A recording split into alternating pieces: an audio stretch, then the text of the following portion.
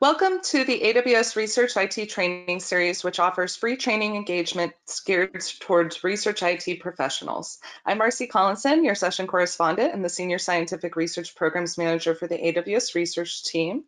Today, we are delighted to have Dr. Jianjun Xu, Senior Solutions Architect at AWS, presenting on serverless Jupyter on AWS, fully managed notebook environments. Jianjun was an astrophysicist and a senior software executive in higher education before he joined AWS as a senior solutions architect, working with several large US universities and colleges. He specializes in software development, big data, artificial intelligence and machine learning, and high performance computing. We will reserve the last five to 10 minutes of the session for a Q&A portion, but please feel free to place any questions that you may have during the presentation in the questions queue in the GoToWebinar toolbar, and we will read them aloud later on. So without further ado, I'll pass the microphone over to Jianjun. Jianjun, please take it away. Thank you, Marcy. Um, I also have my one of my colleague, um, my fellow SA, uh, Chris King, on the call as well. Um, if you have any questions and then you put in, uh, I believe we have a questions session and he will answer some of this uh, clarifying questions. And at the end, we'll leave five minutes to answer some um, questions in more depth.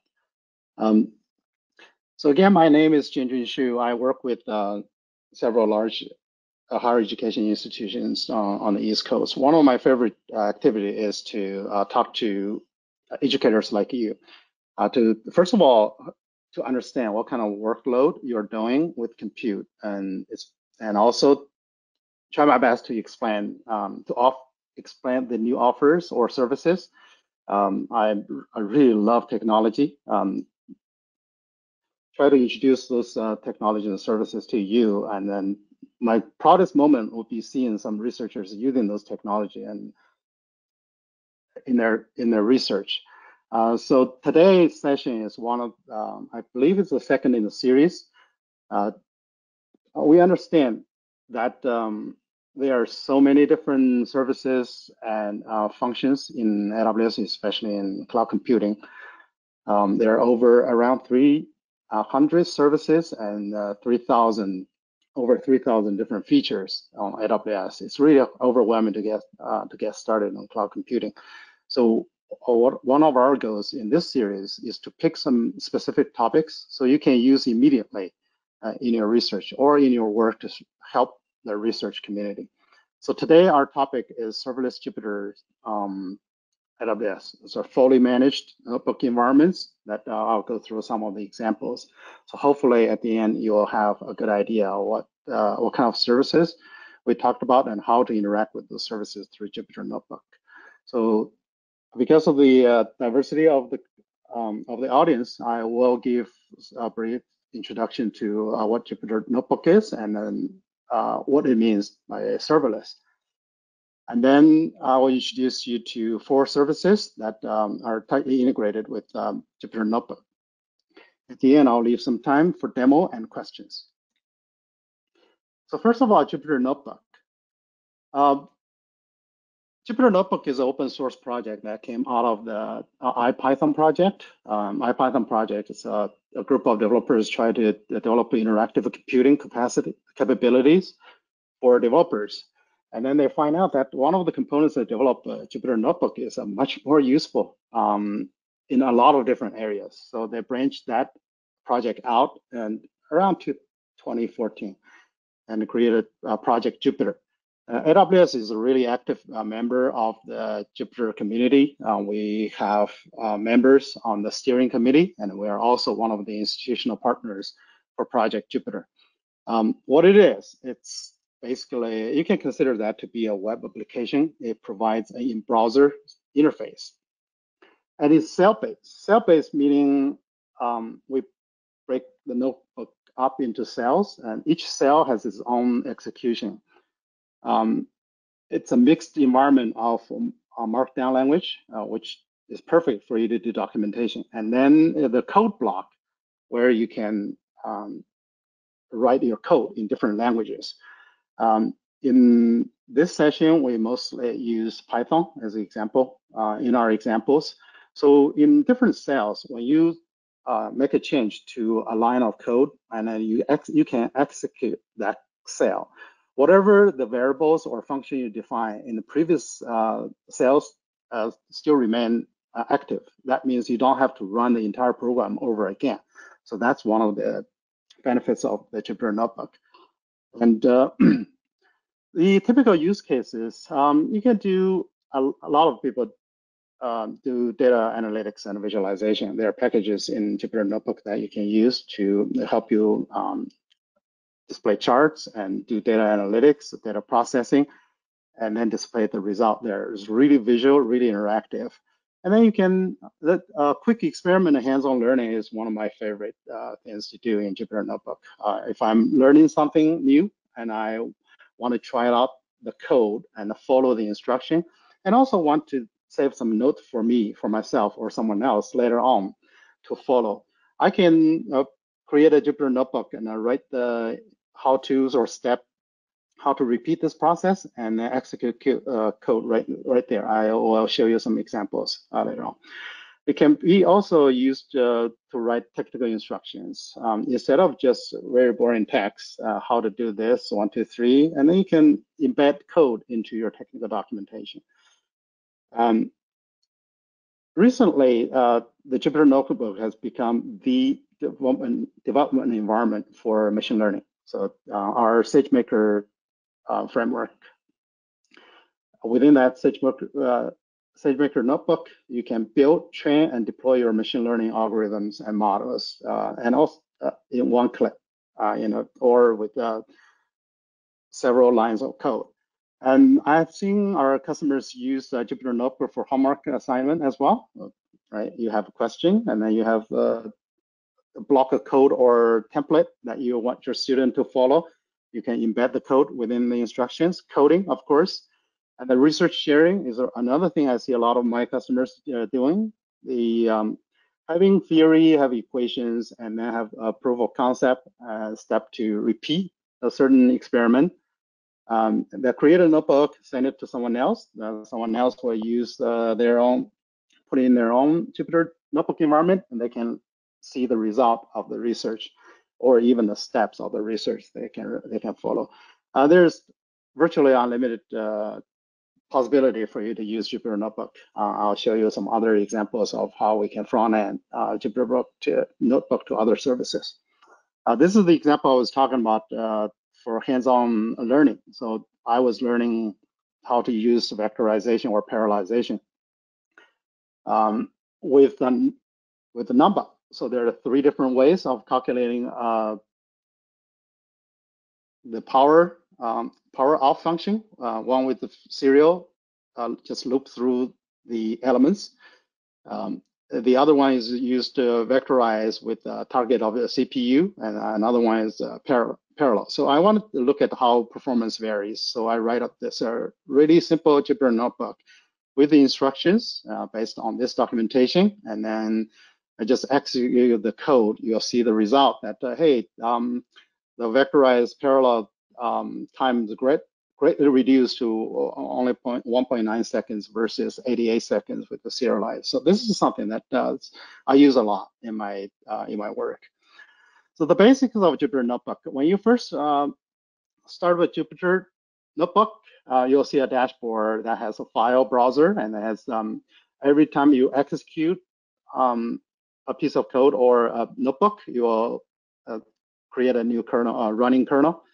And then there are other options of even with IPython parallel, you can run the notebook on an array of uh, computes or nodes. Um, to uh, parallel computing. A notebook document is basically a mix of uh, instructions and code.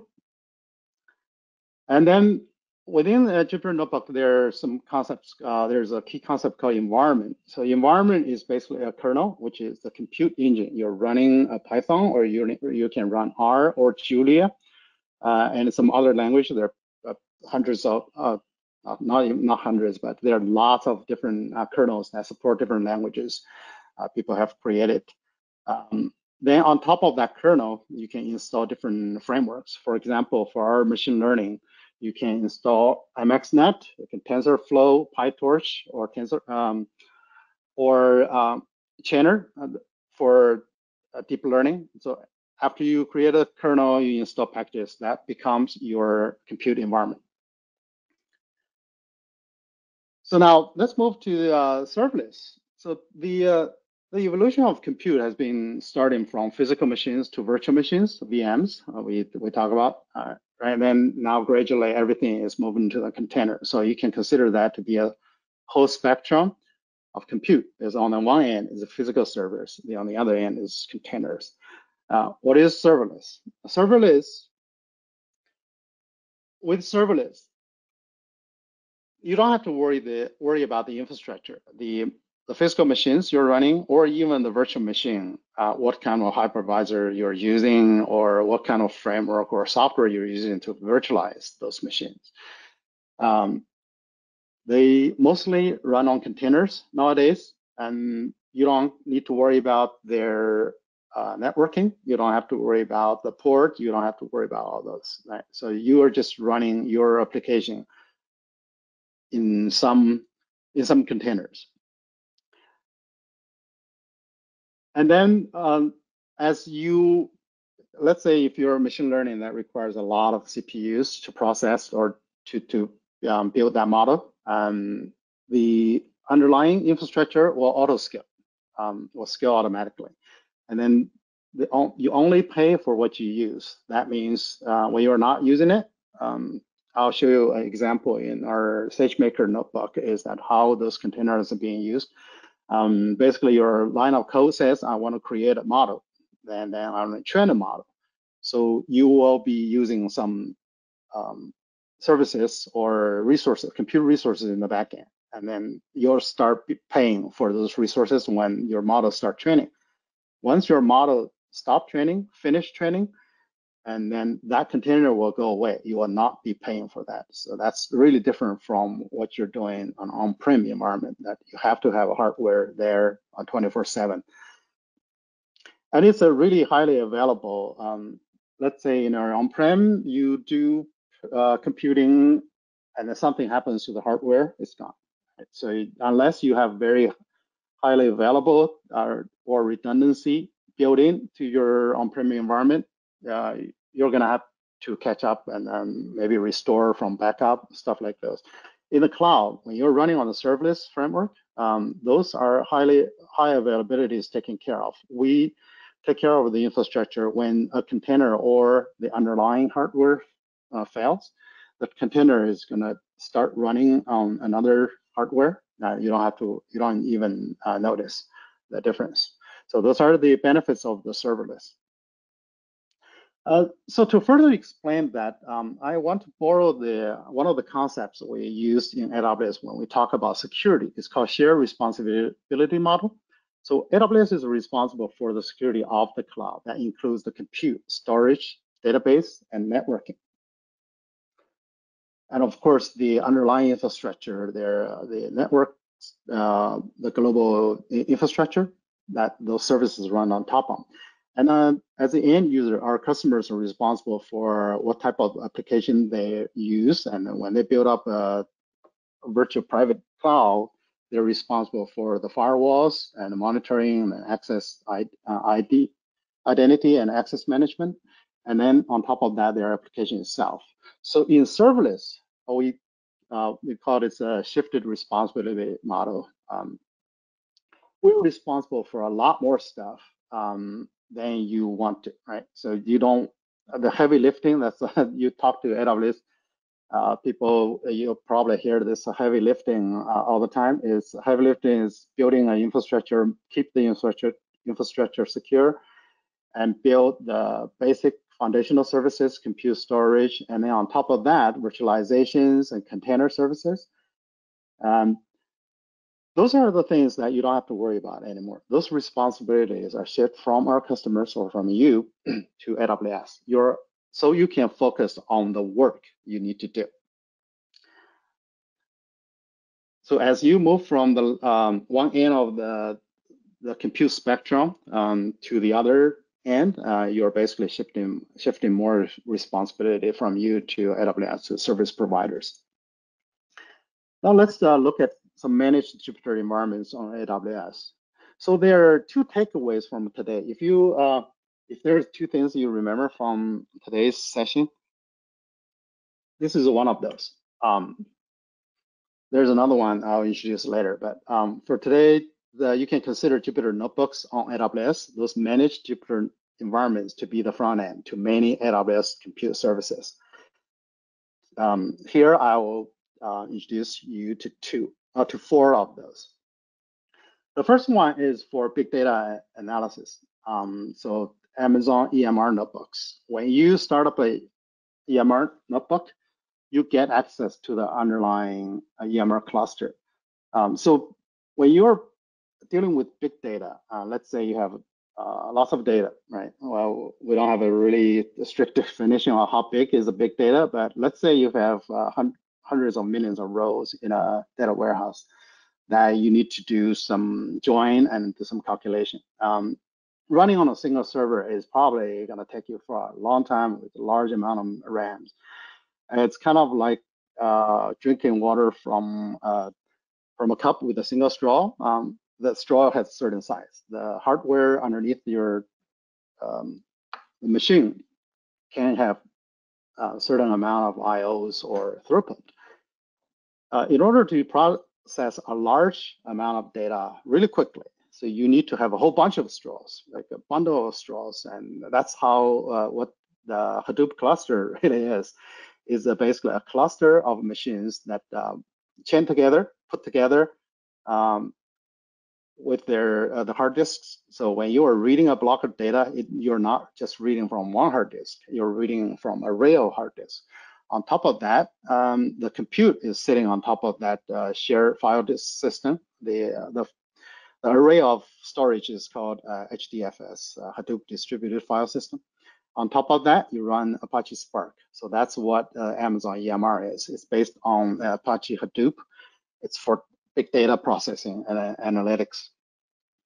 Uh, through this Apache Spark, you can run queries that you don't have to worry about how to get data from different disks. The Apache Spark will take care of that. So the way to interact with Apache Spark is through this Jupyter Notebook.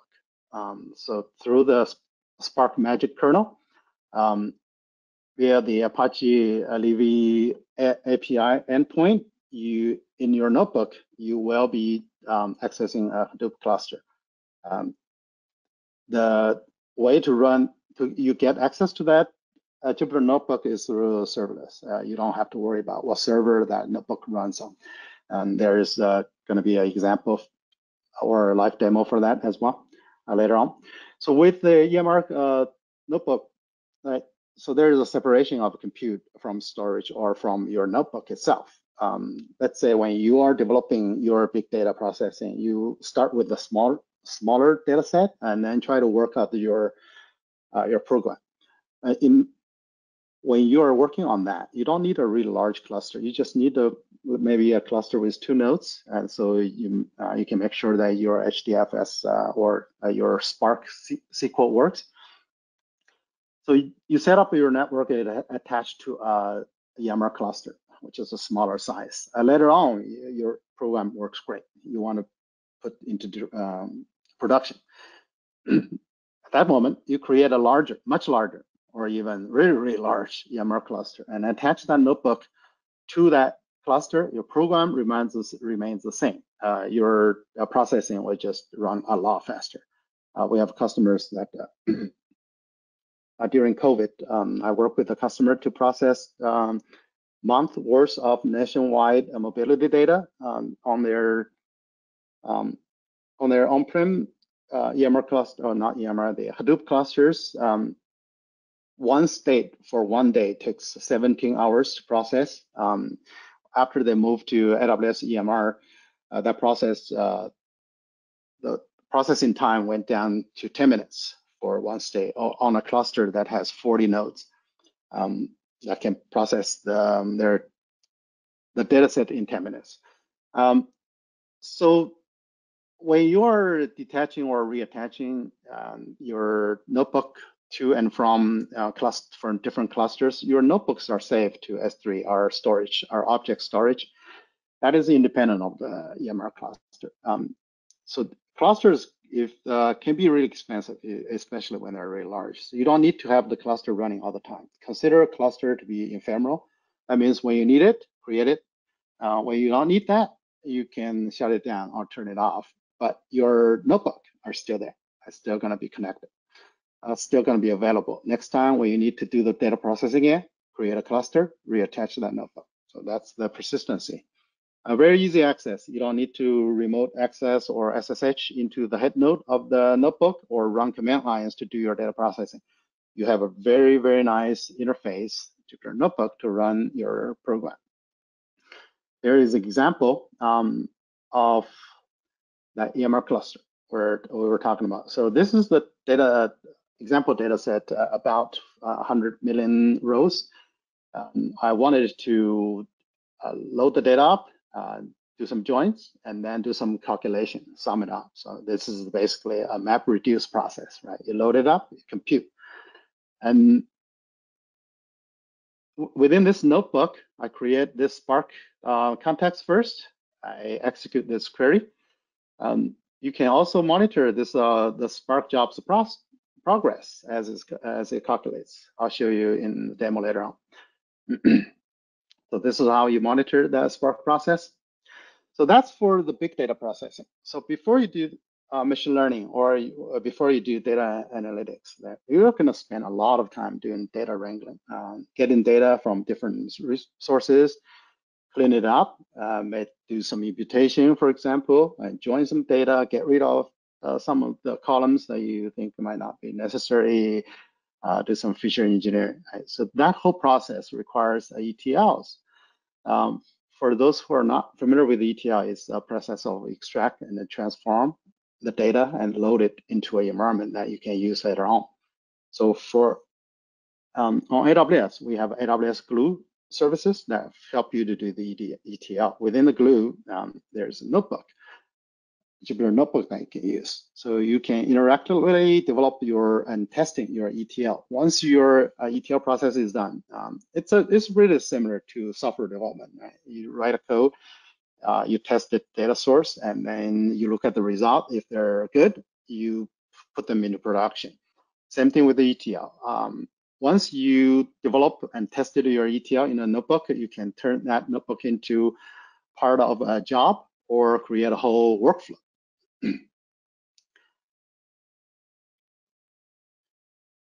so that uh, those are the two data analytics uh, Jupyter Notebook uh, inter interfaces or front ends. So let's uh, talk about quantum computing. So Amazon uh, Braket uh, was just released last month. It's the quantum computing service of AWS. Um,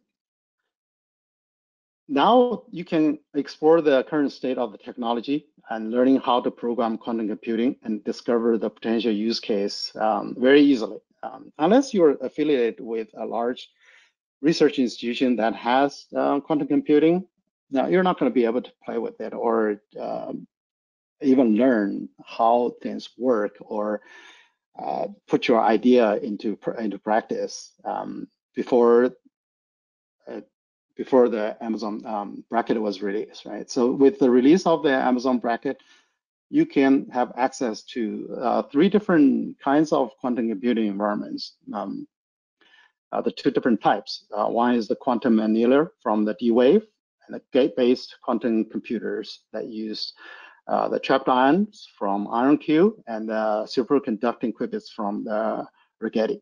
So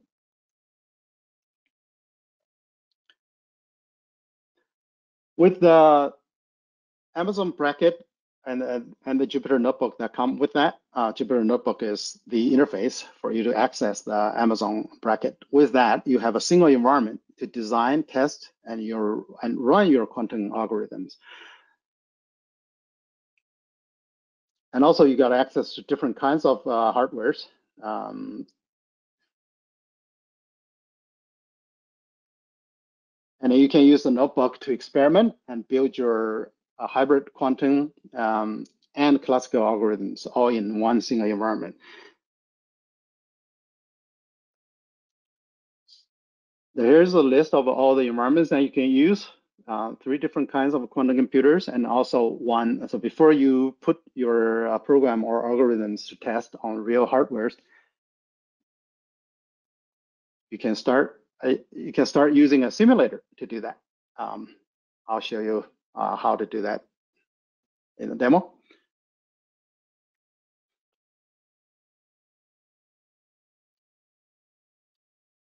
Yeah, of course, the uh, the quantum technology right now is not ready for um, for production, but a lot of institutions or researchers realize that it's it could potentially be a technology that um, be really useful for solving problems that's not possible in the classical computing sense. So uh, people start thinking about how to build build up their expertise, how to learn those. Uh, with uh, Amazon Braket, um, you get an environment that you can start that process, start learning the quantum computing. You can build, test, and run all from the notebook. So this is one of the examples uh, comparing the difference between the quantum computing, one of the um, uh, quantum annihilator, the difference between the quantum computing and uh, how we do um, how we do deep learning through a neural network. There's actually a lot of uh, similarities. And then with the notebook, um, if you're doing development, you can use a local simulator. Once your code runs and your algorithm is providing you with the expected result, you can switch that to a real device uh, by just changing the device to from uh, simulator to a real uh, real device.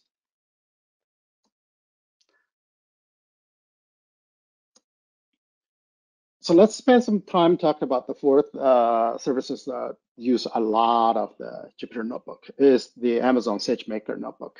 Uh, Sage, our um, Jupyter uh, Notebook is the way of you do machine learning on AWS. So one of the um, efforts we are we have put in a lot into in the past few years was try to put the machine learning into the hands of average developer instead of um, limit that capability for data scientists only. We are building um, services and we're building frameworks, services, and tools to enable uh, developers to do machine learning. So SageMaker is the result of that. With the SageMaker, we make it easy um, to do machine learning. A couple lines of code, you get um, the SageMaker has 17 building algorithms, um, pretty much anything that you can think about, um, linear regression, logistic regressions, uh, deep learning, CNNs, RNNs, all this. Uh, we have building algorithms that uh, you can, that developers can use a very simple few line of the code and then build their, build your model, train the data, and then deploy it all in one environment and scalable. Like I said, the, the training itself is going to be done serverlessly uh, based on what you need. You can specify different size of the compute to do your training. So the performance is really scalable, uh, cost effective. Uh, when you're using it, you only pay for what you use. And it's really secure. The underlying infrastructure are handled by AWS through that shared responsibility model. And then once your model is trained, deployment is extremely easy. Um, think about uh, without a serverless uh, environment or fully managed uh, machine learning platform, uh, you will have to create your own cluster or create your own web server and put your models and serve it to um, to your customers. You have to manage all those infrastructures. now with uh, SageMaker, uh, it's a one-click deployment of your model, and then you're done.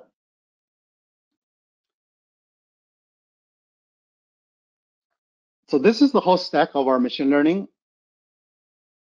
uh, services on AWS. Um, on the really bottom, if you're a data scientist and you need to build your own model to solve your own specific problems, you can use those um, machine learning frameworks we provide, TensorFlow, MXNet, PyTorch, uh, through the Gluon, Keras, those packages or APIs uh, you can build your deep learning, um, and then you put on the container, you can serve, um, you can do your machine learning that way. But if you're a developer, you're not really, you don't need those uh, build your own model. You can use um, machine learning services like SageMaker Notebook, and SageMaker Studio. So those are two different flavors of, of the Jupyter Notebook. One is the notebook instance, one is the enhanced Jupyter Lab environment. I'll show you the interface later on. But um, you can use the building algorithms to start building a model really quickly and then deploy them with one click.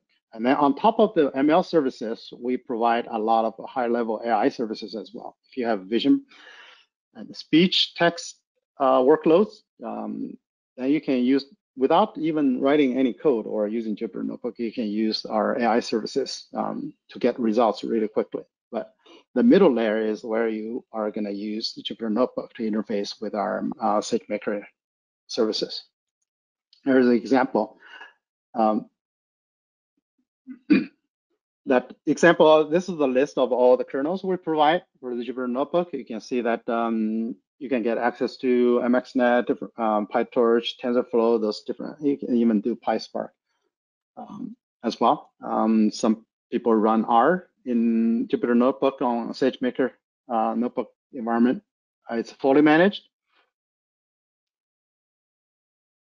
Here's an example of some code. Um, it's uh, XGBoost, which is a very uh, very popular uh, linear regression or classification algorithm. You can use that to do both.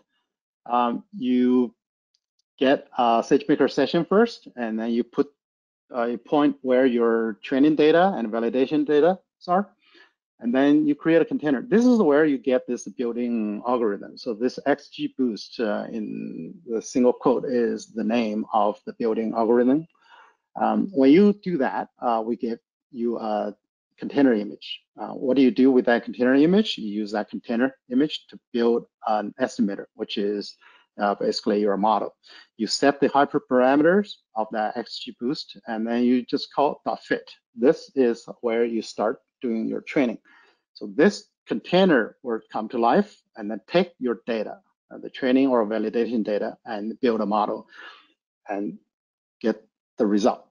And then if your model converges, hopefully, right, then you, your model is successful, then you can call this XGB, xgb.deploy to create an endpoint for inference. So what is the endpoint for inference? You build a model, you have a whole large amount of training data. You build the model, you tune the parameter, the uh, model parameter, then you get that model. Then somebody else wants to use your model. Uh, your either your web application or another researcher wants to use the model to do some prediction. So you need to have a way for people to get access, right? That deployment, yeah, we call inferencing uh, endpoint is where people uh, use your model. So um, in a lot of cases that uh, when you deploy that model yourself, you gotta have a lot of heavy lifting to do But Uh, with the serverless SageMaker, it's really, really easy.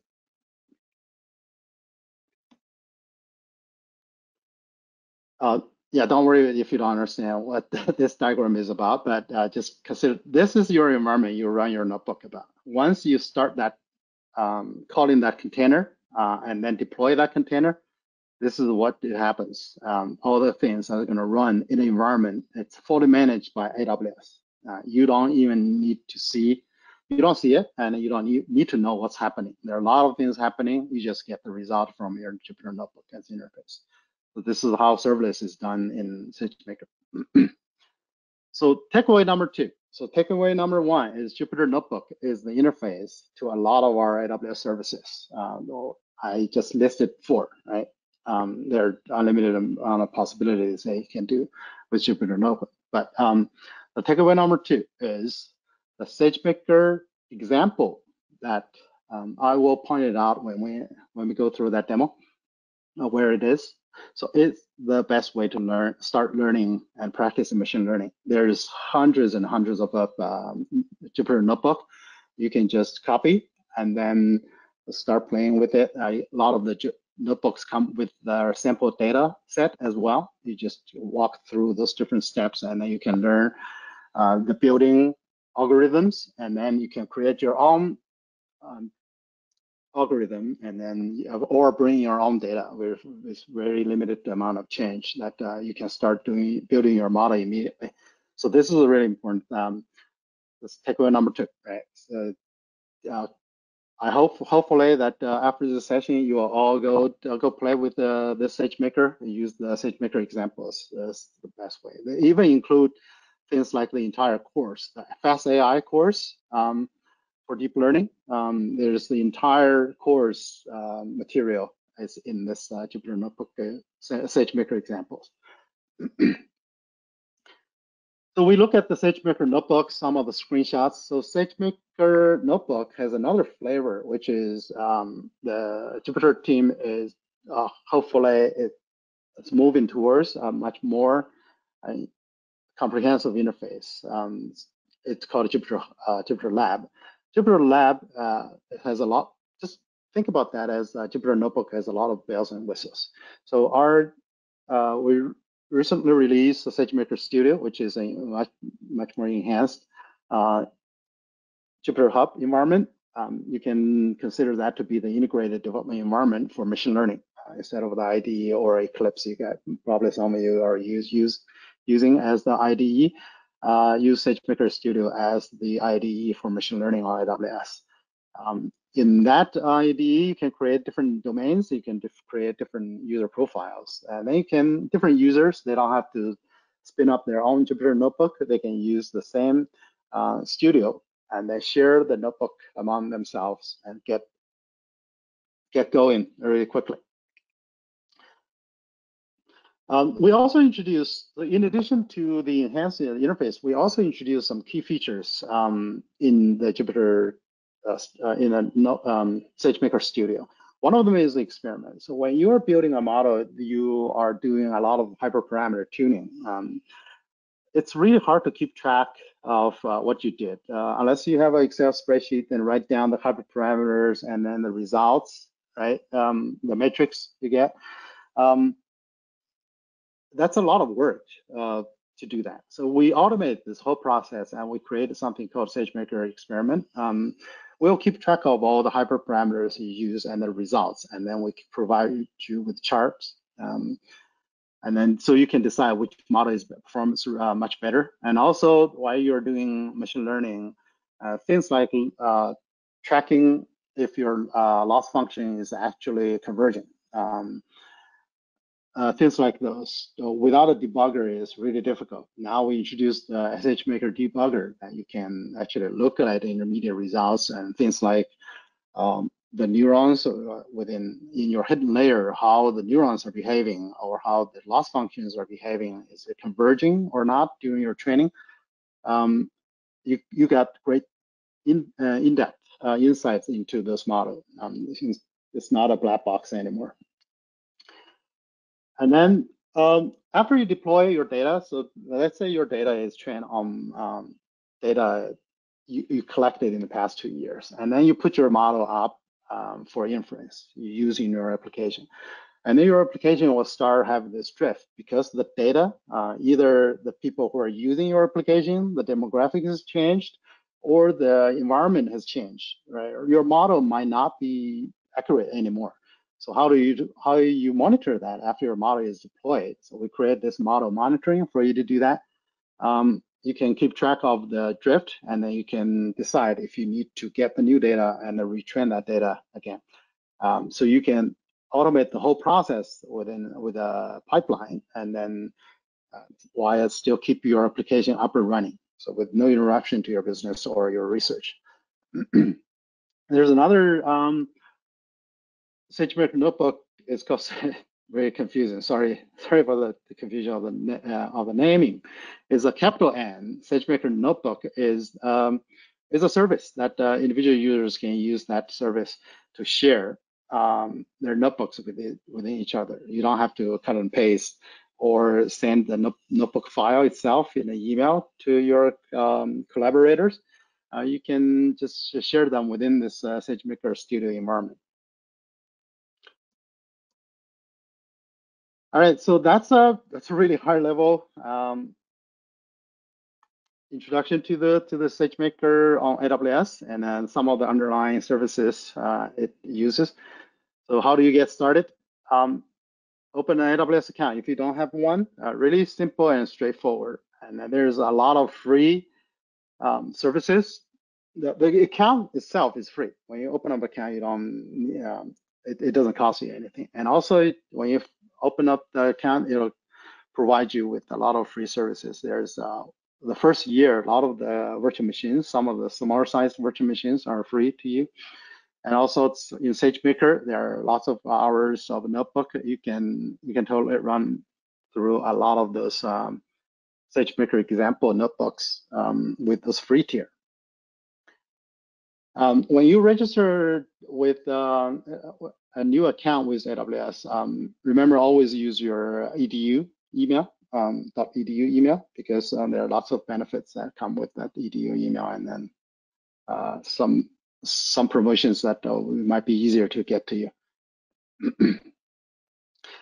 Um, there's a way. So I know we went through this really, really quickly today. Um, so if you have any questions or if you're interested in learning more about certain service and you have a research or you have a researcher that you need to support to do certain things, data analytics, machine learning, or quantum computing, um, go to this uh, URL to contact us.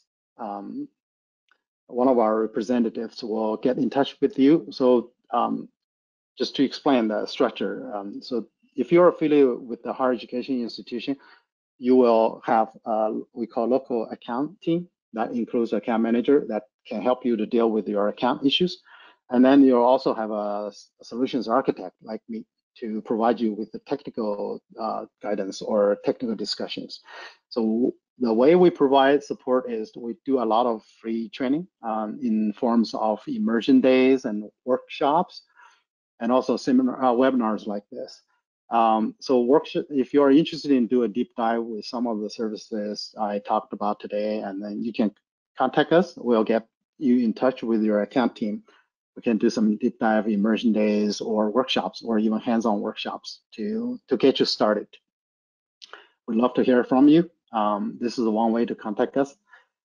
And then um, there's also this email. Um, if you have any very specific questions about this particular web webinar, or you want to say, I'm interested in learning more about certain things or any other topic, make sure you uh, send us an email. Um, and if you have wanted to get in touch with me, send us an email through uh, send us an email to this address as well. Uh, our research team will get in touch with me and with your specific questions. So now let's um, move on to uh, the demo section. So I'll show you what the, um, what the AWS environment look like and some of the um, notebooks I talked about. When you first log into AWS, you will get to this uh, AWS Management Console. Uh, we call it the console.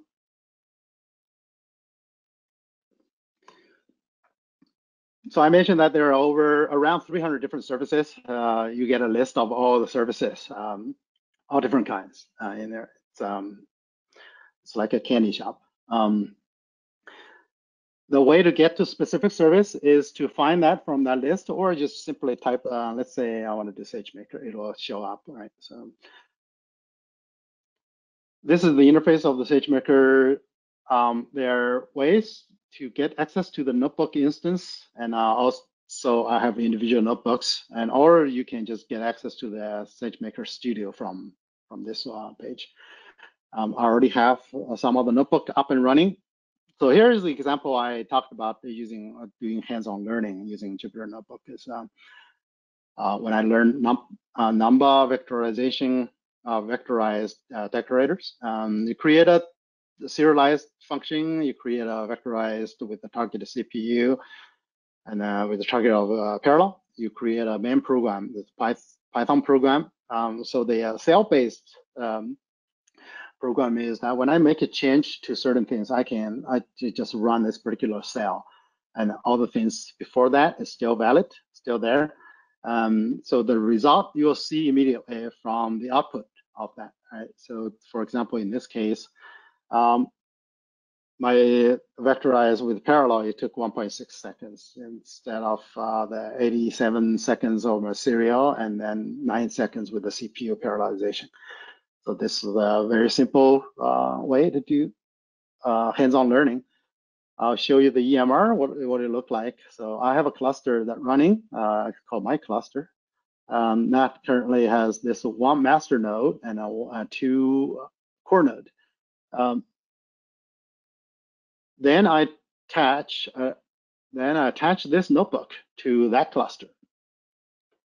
I'll create a Spark context and then uh, look at the table. There's a table called orders. There's a table called line items. Uh, here's my query that I want to do uh, some map reduce. Uh, here's the job I run. Um, the result is showing here, and then the monitoring, I can look at the Spark job. I already ran this. So it's uh, there. It, this query is broken down into over 100 different tasks that do uh, that's like distributed into different nodes of, on the cluster uh, underneath it. so you can see that um, those nodes are doing their job, and I get the results back because I have run this um, query before. There are certain things that uh, that's cached that the Spark recognizes it's done, excuse me, and it's decided to skip. So the results is here, and then if you do a query of the count, I have uh, about 74 million rows in that in those tables. So that it takes about um, Labs 10. The second query took about seven seconds. The seven, the first query took about um, 400 seconds of that um, particular uh, select. So that is the EMR notebook. So let's go to the Glue notebook. Uh, Glue is the, um, again, the Glue is the service that we do ETLs. So what do you do? In this example, I have a whole bunch of CSV files sitting on my S3 bucket. They include the US, um, all the US legislatures, their names, their uh, their job, um, their uh, history of or their whatever they did um, or their districts, things like those. Those are all, we have um, six different files. One is for person, their names and their membership, which party they affiliate with, which subcommittee they're, which organization they belong to, what happens, and which area they represent.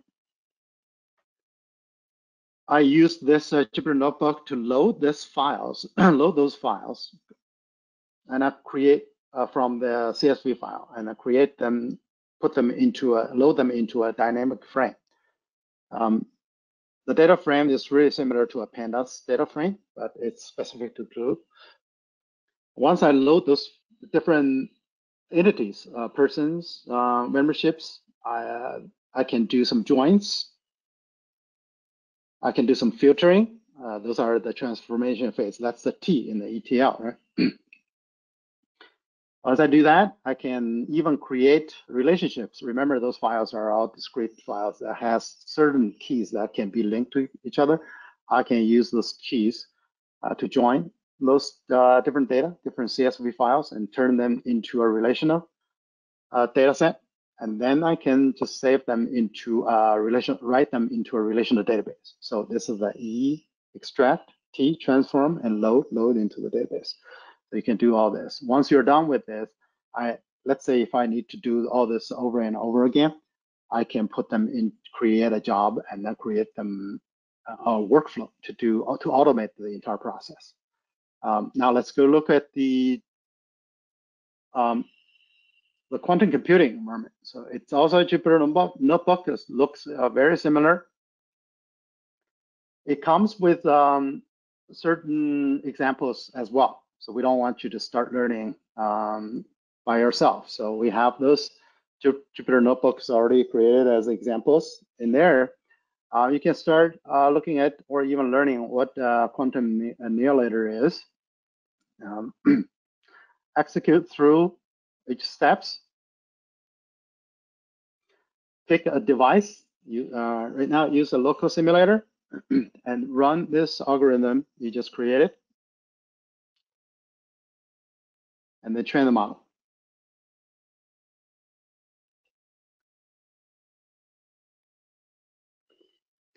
So if you have a lot of explanation to, to do with your algorithm, you can put right there in the notebook and share with other people. Right? So those are, you can even use some creative uh, ASCII artwork uh, to print out the results so people can have a visualization. or you can use more fancy matplot uh, library to create a much better uh, looking chart and then uh, once that's done you can uh, you can run it on a simulator and then once that's done you can switch to a real quantum device that that's yeah that's the quantum uh, that's a gate-based quantum computer example. Uh, here is another one that's um, a quantum annealer-based example as well. So uh, let's take a look at the where you find this uh, SageMaker example. The, the, the best place to learn the, the uh, machine learning is is here. Once you start a SageMaker notebook, you will get this interface. It has the file and then has the SageMaker examples this is the where uh, where all the, the, good stuff is. So if you look at that, each one of those line is a category that has tons of um, example Jupyter notebooks in there. Um, this is a collection of our um, building SageMaker algorithms, and then you can uh, learn fast AI course, or you can do um, you can learn what the SageMaker example. There's an example for that. Uh, or if you want to see how R is uh, running on in this uh, SageMaker notebook, you can do that as well. so I, yeah, I don't have time to go through each one of those. I just uh, quickly uh, show you what those machine learning notebook uh, look like. And don't, don't, be afraid; they're they're pretty straightforward, especially when you have um, those examples to start with. This is one of the example we do the time series analytics. So the reason I show you this is uh, there are a lot of uh, charts and diagrams in here that you can um, it, can facilitate those uh, data analytics before you actually build your model. So for, for this particular model, we're looking at hundreds of uh, different companies' uh, utility usage. We're trying to predict what's going to happen in the next two uh, next week or next month. one thing I want to emphasize is that so there is a model being trained, um, not being trained, it's already trained, but um, one thing I want to show you is the capability of using something called widgets. So in your web application, you will provide uh, forms and input fields for people to in, uh, input parameters and stuff, right? So in here, in SageMaker, you can actually build those widgets. For example, I can change the number, uh, the, the customer number. I want to look at another number. I can actually change that and then run the interact, click on the interact button, I get this data immediately. So it's really similar to a web application or live web application. Web application. You can do all this in Jupyter Notebook um, in SageMaker Jupyter Notebook very easily through widgets too. Um, I okay. I have one minute. I'll leave. Yeah. So I'll just show you the uh, the uh, SageMaker Studio. So we have something really cool. You guys, I hope you guys all play with that. It's called Autopilot. Um, you start with a CSV file. You hand it to SageMaker uh, you just SageMaker uh, build a model for me and then take a look at all these features, see what features are good for me. So you can um, just give us the CSV files. The SageMaker autopilot will take that and then analyze, do feature engineering and get rid of some certain files, do some dimensionality reduction, uh, uh, reduce the number of parameters, and then build a model, uh, run hundreds of different experiments on with different hyperparameters. At the end, it will give you a list of all the models we built, and it will tell you that this particular model is the best because it gives you the highest F1 score. Okay, so that's perfect for people who are not really familiar with models, and then they they have a simple two-dimensional data set they want uh, to build a model on. So this is one of the examples uh, what the SageMaker Studio can do. Um, the possibility of limitless. Um, one of the examples, uh, one of the project I'm working on is I'm trying to build a Jupyter notebook to front uh, a parallel cluster, uh, HPC cluster that to, to, um, to do data processing or uh, do simulation. So that's it for my for the demo and my session. So I have four minutes for questions. Thank you, Jianjun. That was such a great presentation. Um, we do have a lot of questions, so I'm going to dive right in. The first one is, can you give an example of using Jupyter Notebook in a coding environment that is integrated with GitHub? Oh, so yeah, really uh, easy, uh, actually. So if you can, you of course, uh, even if it's serverless, you can get access to uh, the underlying uh, terminal. And then in that terminal, then you can just use Git. So um, I might not have Git installed, but uh, you can install Git here and then you can integrate your GitHub repository there and pull your pull your all your notebooks and save it there or pull it uh, from the GitHub. And the Jupyter actually, um, the Jupyter Studio, the SageMaker Studio is fully integrated with uh, with GitHub. So here's the left-hand side. I already have a GitHub repository uh, tied to this uh, particular environment, so I can see all um, my project, uh, which is Amazon SageMaker examples in there. Perfect. Okay, next question. Can you code using GPUs in a serverless environment? Yes. So what we uh, what we look at is the the way you do um, deep learning is that when you build a model, you create a container. So when this container is being run, uh, let me see if I can find that piece of code to build a model. When you get the container, you build the model, you'll specify the instance type you're running on. Uh, for example, in this case, S3 files, train a model. Yeah, so in this case, I'm gonna train, I'm gonna run this model in a on an instance called ML C4 X 2x large. That's our compute. Uh, that doesn't have a GPU.